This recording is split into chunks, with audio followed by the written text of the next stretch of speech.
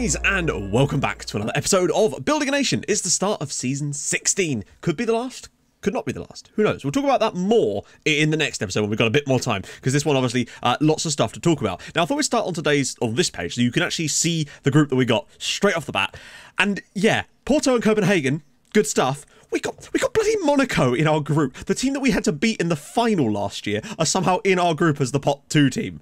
I mean, come on, man. Um, that is going to be a really difficult pair of games against them, and I'm a little bit concerned about that, in all honesty, I have to say. As you can see, obviously, Lech Poznan, uh, they were automatically in it too. They got Lyon, Schalke, and Spurs. It's an interesting pair of games. I think Spurs probably the standout team, although Schalke have been pretty good, have won the competition before.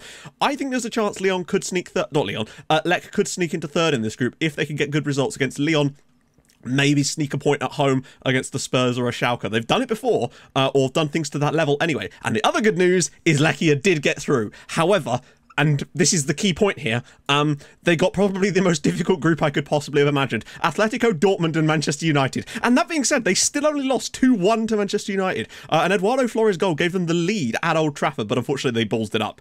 Um, yeah, that they kind of, they just, yeah, it wasn't going to happen for them, unfortunately. But just quickly, this is the Europa League, and things have got even better here because for once we actually got decent draws. We didn't get a Sevilla or a Marseille or one of those types of teams. They actually got decent draws, and it was about bloody time, in all honesty.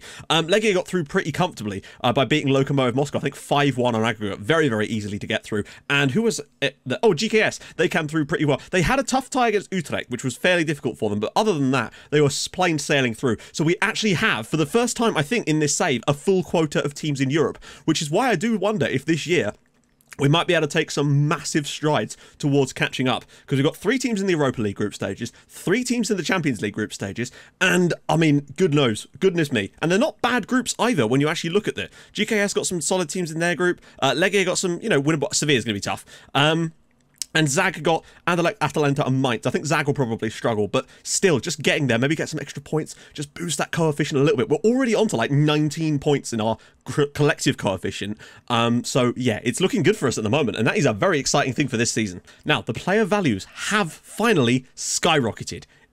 I assume it's because we finally ticked over into actually being the sixth team, uh, sixth best league in the world, rather than just having the sort of in name only kind of thing. We're also the second highest reputation team in Europe now. Only PSG have a higher rating, and that's been so much nicer. In terms of keeping hold of players, it's been brilliant. Um, very few players have complained about wanting to leave. There's been, like, usually it'd be like, my client would like to go here, but there's been virtually none of that, except for one player, weirdly, and he did leave, and we'll talk about that in a minute. The board, once again, have not finished the stadium extension and have just gone, you know what?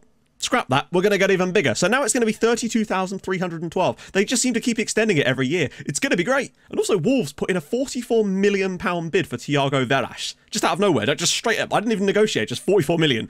Um, I said no, and he was happy to stay. But it was interesting to see that some of the money has been batted around for our players. Uh, someone bid 69 million pounds. Yes, I know the sex number for Blaise Lisic, uh, and he, he was happy to stay. It's brilliant. So we kind of raked in a little bit of money on that one as well. We got 13 million pounds from um, Jacobo Garcia's clause with Inter, which was brilliant.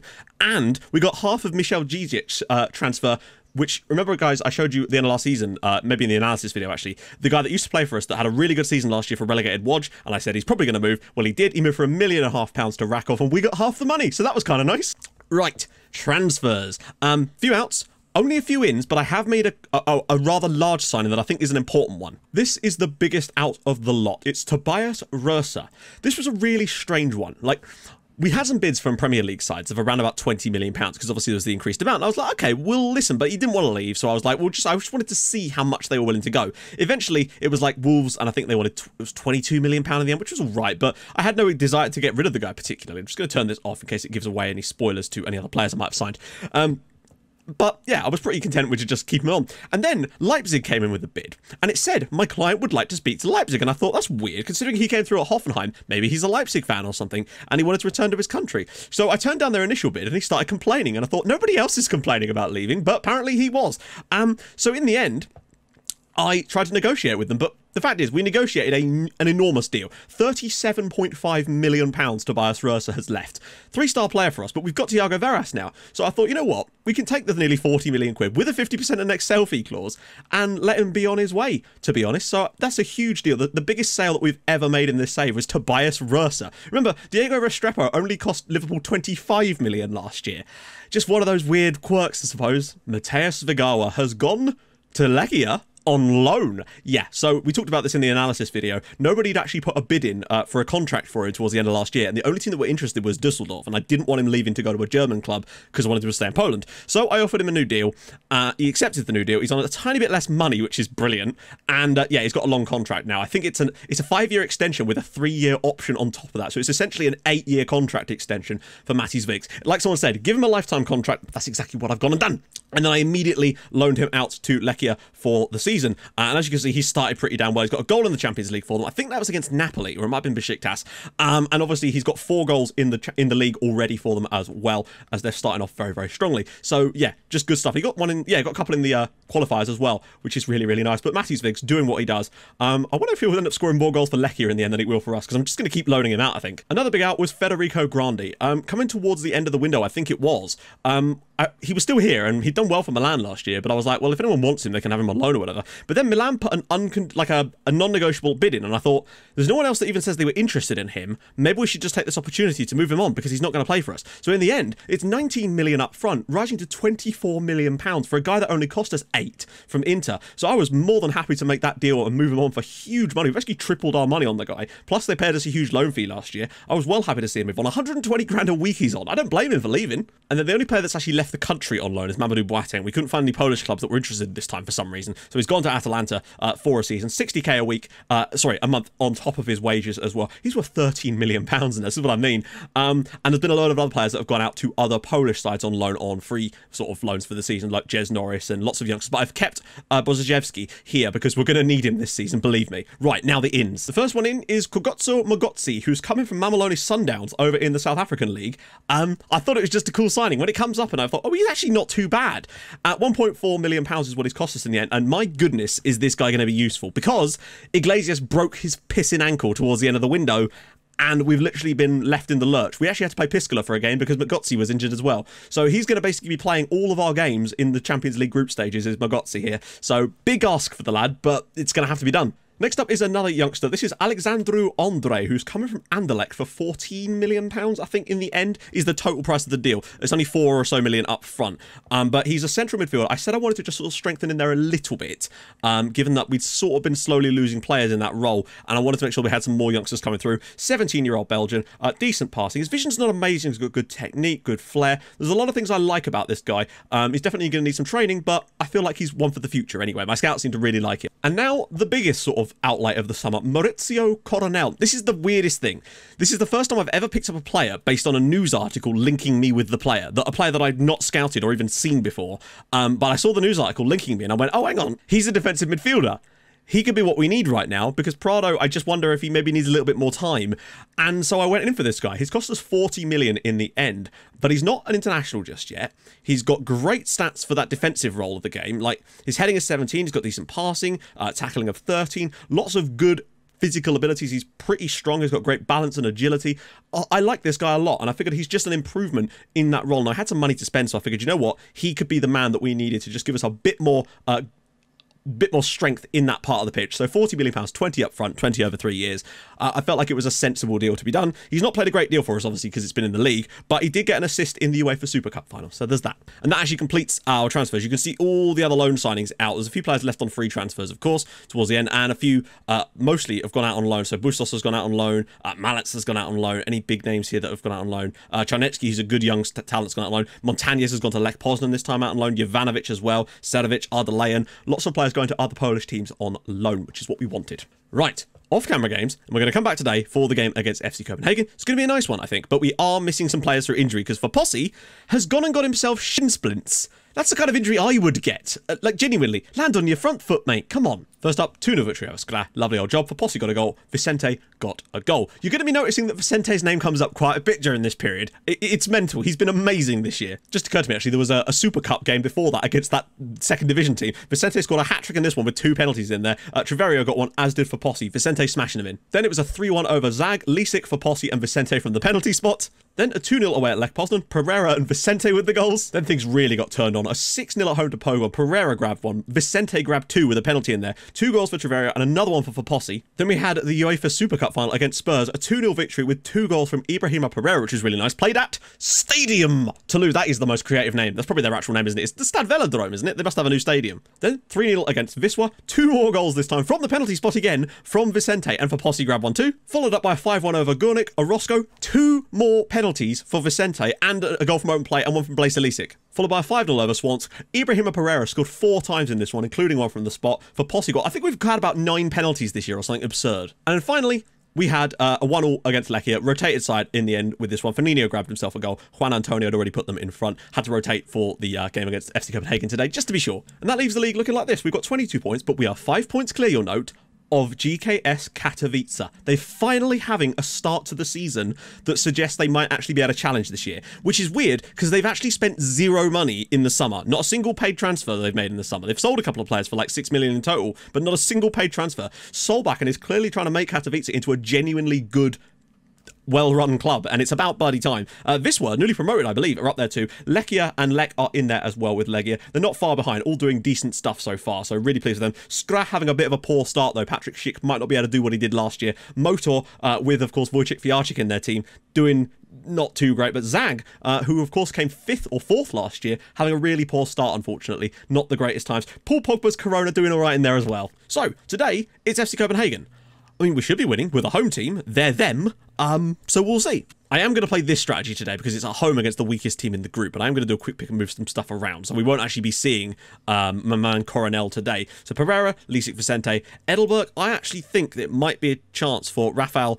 Uh, all right, Broz- Broniszewski, right? That's his name. I was I can never remember how it was spelled, so I couldn't pronounce it properly. So yeah, Rafael Broniszewski. I'm going to bring him in today uh, instead of Edelberg. Someone said Edelberg could do with the gets into opponent's area trait, and I, I agree with you on that one. Um, so we're probably going to train that one. Orozco and Gorosito in the middle is fine. Albarracin, Freitas, Falvela, Shabal, and of course Mogotsi in goal. On the bench, we're going to go with Pimentina, Pandurovic. Uh, wait, no, I'm going to put the llama on the bench instead of Panda. So many animals here. Um, Waterberg, Triverio, Alan Olivier, Carroll, and Fernino on the bench. This should be a comfortable victory, but you know what we're like in these games? Still on 3D from that final bit of the Champions League final. Right, so before we go to the game, there's been a bit of confusion about what that Huesca save actually entails, mainly because people might have missed an episode where I talked about one thing or another thing. So I just wanted to very, very quickly lay out exactly, in theory, as condensed terms as I can, exactly what that save is actually going to be when I start doing that at some point. So firstly, it's a one season challenge. So the, the, the entire series will be one single season, no more. Second to that, I will be controlling everything myself. So my assistant will basically be doing nothing. I'll be doing training. I will be doing uh, training schedules. I'll be assigning individual training, mentoring, sorting out all of that stuff from scratch. We will be building a tactic from scratch during the preseason friendlies, showing you how I would go about doing that, not that that's the correct way, but show you how I go about doing these things. Because I want to learn all the intricacies of the game that I might be ignoring, and some of you might also be ignoring, and we're going to learn together. And the only way I can really do that is by taking more time over the actual season itself. So there'll be less in an episode, but there will actually be more in an episode, if that makes sense. We're also going to be diving deep into the analysis side of the game, because what I did against Manchester City, I want to be trying to do that basically for every video, to the point where we're trying to get the maximum out of it and showing how you could maybe get more out of your team just by analysing a few little things and basing it off of the analytics side of the game, using all the comparisons, the stat packs, all that sort of stuff, basically. It's almost like I was actually manager of Huesca, almost like I'm RPing in that sort of thing. Think of it more like that Sunderland documentary is the best way to describe it, I suppose. We'll be doing our own scouting, we'll be doing all the medical stuff, really analysing like players' uh, fitness levels to keep who's in the squad, who to rotate around for cups, really discussing this stuff basically in detail. The episodes won't be any longer than normal, uh, it just means that we'll, you know, breaking it up. So you might only, some episodes you might only get one game, but you'll get so much other stuff around it that it won't just feel like we're just trudging through the season basically because of all the extra stuff. And don't worry, it's not just going to be like a stream of consciousness. I'm going to be editing it really, really tightly so that it doesn't feel like I'm just babbling on basically. Because I just want to give this a try out and see if I can get better at the game by doing it. And also, maybe we could all pick up some stuff together. Right, okay, that's enough of that. Let's get into today's game against FC Copenhagen. And obviously, if it's successful, because it's only one season, if people like it, we could always do another one with a different team in a different scenario. Huesca I just picked because I knew it would be incredibly difficult and we'd be fighting relegation the entire year. But we could always do, a team that's trying to win the title, all sorts of stuff. I just think it'd be a fun way of getting different teams involved. Oh, my goodness me, what a strike. Particularly with the limited time left in towards uh, FM20, I wouldn't want to start another long-term series, really, in that time period. Brozic, oh, hello, he's driving forward. Couldn't find Lisic, though. Ball down the field. Gonna just go down the wings and up that passing directness. Back for Albarracin. Oh, that's a poor touch but easily cut out by Favela. We've got to get that possession up a little bit. We've not hit the target yet with a single shot. Shabal. Broniszewski. Gorosito again. Oh, good save by Flint. Shabal. Will he go short? No, he's just going to lump that one in. It's going to come back to him. Goes back for Gorosito again. Oh, what a bloody finish. Brian Gorosito, only his first of the year. That is an insanely good goal from Gorosito, though it has to be said. Schalke are winning away at Olympique Lyon, which is, I guess, kind of good in a way, uh, because it might help let... I mean, I don't know if they're going to be able to get third in that group, but this is really good from Gorosito. Look at that. He's actually used those two defenders as like a one of those like training uh, dummies. That was brilliant. At least ball. We could do with a second goal just to make this a bit more comfortable for us. Vicente, Gorosito, Falvella, and Vicente, Freitas. Albarracin hits the side net in. It's Freitas out wide, the winger, the big winger. Dinks it in. Said, oh, Gorosito can fancy this again. Oh, my goodness, he's been everywhere. Shabal takes it short for Gorosito again. What's he fancy this time? Finds Pereira. Oh, what a save from Flint. Well, there we go. Pretty comfortable first half. 1 0 up. Weirdly, Vicente has been the worst player on the pitch considering he's been our best player all season. Okay, so analysis is very much out wide sort of situation. I think we're just going to keep going with that. Our forward line actually hasn't done the best job so far tonight, in all honesty. Albarracin. Vicente. Space for Lisic. Sets himself up. Oh, it's a great goal. Blaise Lisic. Only his third goal of the season. He's not been quite so goal hungry this season, it's fair to say. But he's done brilliantly with the assist so far. And he just peeled away into a lovely position. Vicente ha hasn't managed to get a goal on the night, but he has grabbed himself another assist for the year. That's really nice. Just looks up, sees Lisic. Lisic's in acres of space. One touch, thump with the left foot, near post, 2-0. Good stuff. You can see the uh, construction going on on our stand over here. Orozco doesn't do the best with that considering his aerial prowess. Uh, but there's Albarracin flying in. Oh, what a ball. Pereira, can he finish this off? It's a very tight angle. It doesn't matter. What a finish from Ibrahima Pereira. His ninth goal of the season. For a player that's kind of gone under the radar a bit the last few years, this year he has really stepped it up. He only got 19, I think, in all comps last year, but what a ball from Albarracin. That is absolutely phenomenal. Um, but that being said, the finish from Pereira as well. He's missed a lot of these in recent years. Not today, though. 3-0, comfortable stuff now. Hello. Oh, Broniszewski's won it. Olivier. Carroll, breakaway chance here. Lovely ball for Lisic. He's really stepped it up tonight. Lisic's ball through for Fanino. That's surely offside. Apparently it's not offside. Well, that's just come out of nowhere. Lisic, brilliant work again. The ball initially from Carroll here. When he gets it, he just looks up straight into the centre of the park, plays a lovely ball for Lisic, and that just sets this play away. Fanino just manages to hold his run just enough. He's through, and it's a lovely finish from Fanino. It wouldn't be a Champions League game without Fanino coming off the bench and getting a goal, would it? Lisic? Fanino! Oh, that should have been a goal. It's hit the crossbar and bounced away. That was so close to being a goal for Fanino there. And Gorosito now, and it's a well saved again. Gorosito have another crack at it from this distance, and again it's saved. Fanino couple of seconds left here. Looks like it's going to be a comfortable 4-0 victory in the end. I mean, great win in the end. Um, took us a little while to get going, but finally did turn their screw. And honestly, their goalkeeper was phenomenal. Still, despite conceding four goals, he was still great. Lisic, Pereira, Fanino, and Gorosito with the goals. Uh, in the end, Schalke got a 3-1 victory away at Lyon, which will definitely help out Lech, but they've still got a lot of work to do at the moment, that is for sure. But in spite of all that, I'm still very confident about what Poland as a whole could do this year. It's the first time we've ever had, I think, a full complement actually reach the group stages of any competitions like this. So I do wonder how much ground we could potentially make up this year. And I I just think if we maybe had an incredibly good season this year, there might well be the hope to actually keep going with this if we start to make real end roads, and that's the thing. So we'll have to sort of see. I said I'd play it by ear, and I'm still curious about that. Good first win uh, in the Champions League. Considering we're missing the likes of Fopossi and Iglesias, there's going to be a few players out. We're going to need to do a lot of work, and next episode is going to be really tough to do that. We've got Monaco Uh, we've got Porto and Monaco both away from home. Probably the two toughest games in the well, actually no, I mean both the Monaco games are the tough ones, but we need to come through the next two games with some decent points on the board and see what we can do. If we could win in Monaco, then I'd have to say that's probably this done, but still, there's a lot more to do. Anyway, if you've enjoyed this episode and you're looking forward to the new season, I hope you are, in all honesty, then drop a like on the video, that'd be glorious. And if you are new to the channel and this is the first episode you've seen, subscribe, that'd be gorgeous as well. And I'll join you guys in the next episode for Porto and Monaco away. It's not going to be easy, but we can do it. I think Porto should be winnable. Monaco, maybe not so much. I'll see you guys soon. Thank you so much for watching. Bye-bye.